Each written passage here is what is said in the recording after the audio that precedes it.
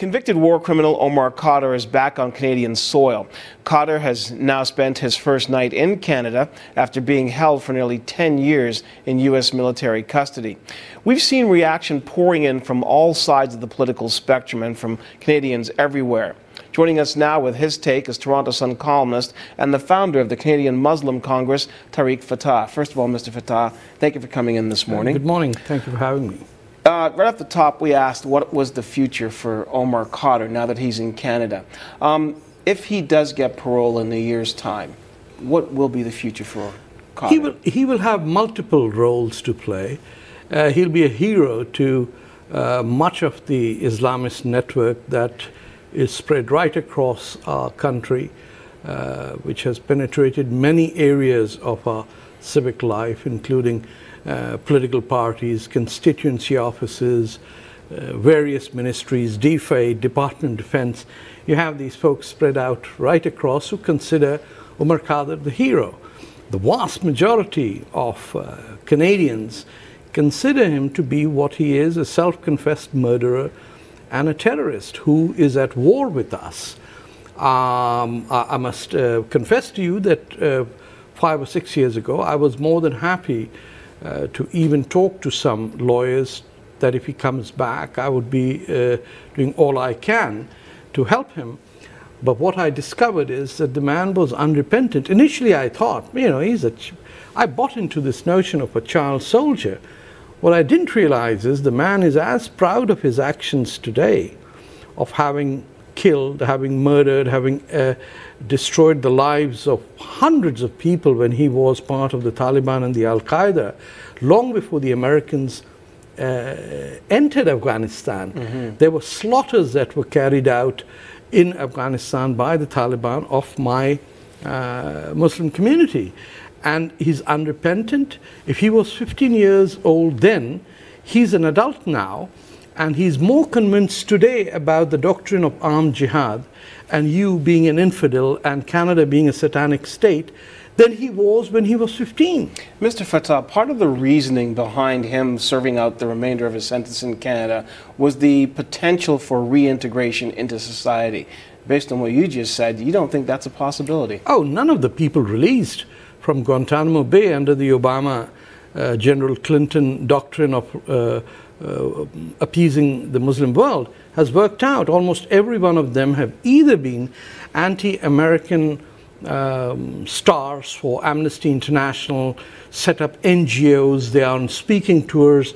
Some become reformed and then write books about the extremists and milk the system that way. But most of the Saudis and the Yemenis went back to kill more people. Uh, in fact, the people uh, who went, some of them were released into Libya. Uh, to do America's dirty work over there, mm. then were flown to Turkey and into Syria, and where they're doing Al Qaeda's work today.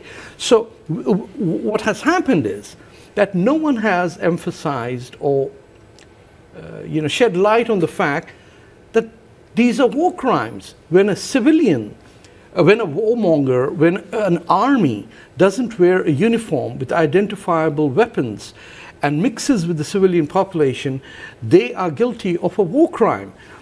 The other side is that the war against the enemy, which is Al Qaeda and the broader Islamist movement, has not yet ended. Even if he was a prisoner of war, the war has, someone has to sign the terms of defeat. Someone has to go on some ship somewhere in the Pacific to sign with General Westmoreland, I surrender. Mm. The war is over. No. As we know in Libya, Al Qaeda is on the offensive.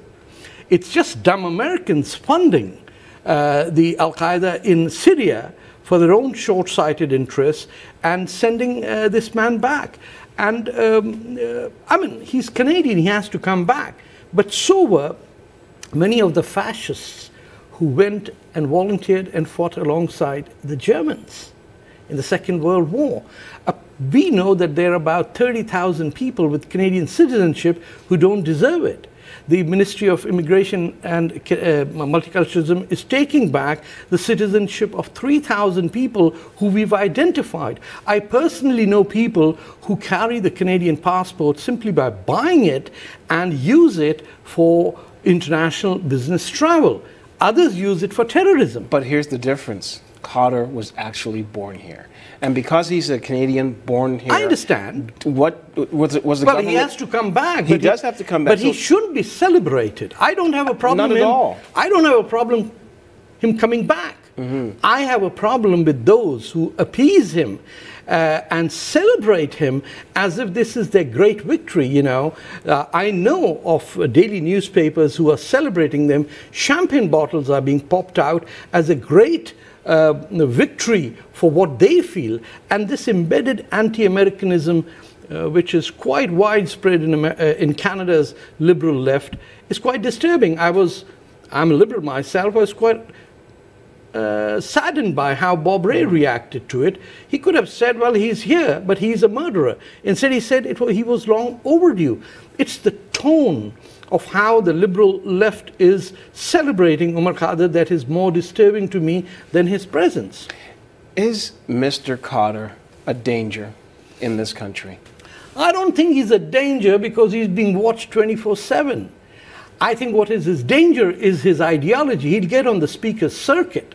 He will be in every university gathering. Our $10 million man, Maher Arar, has already written about his future $10 million man. And we know how the system works in Canada. You can generate enough white guilt to get any judge to uh, submit to uh, emotional and political blackmail. Mr. Fatah, was, was the government's, the Canadian government's hands tied in this situation? They had no choice but to basically repatriate Khadr. They could have done many other things. I think the Conservative Party, like the, uh, like the Liberals and the NDP, uh, are mostly affected by electoral politics. They will swallow anything to not be seen as racist. And white guilt is a terrible thing to lose. Mm. And that's why we are suffering. We've got 50,000 Canadians with Hezbollah supporters in South Lebanon. We've got tens of thousands of Canadians who hate Canada who only use it to travel. And mind you, the number of Iranian intelligence officers of the terrorist wing of the intelligence who've come to Canada, got their passports, and have left will astound you. The machinery that generates anti Canadian Canadians, even those born over here, is huge.